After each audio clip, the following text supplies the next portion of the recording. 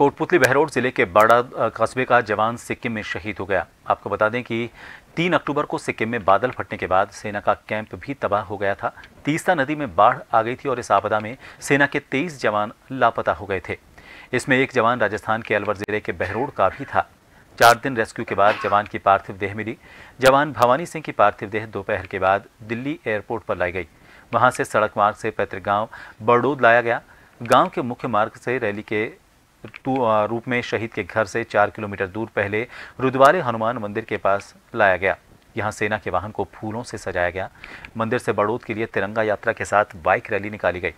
इस दौरान फूलों से सजे सैन्य वाहन के साथ बाइक रैली में सवार युवाओं ने पूरे चार किलोमीटर के रास्ते भवानी सिंह अमर रहे के नारे लगाए।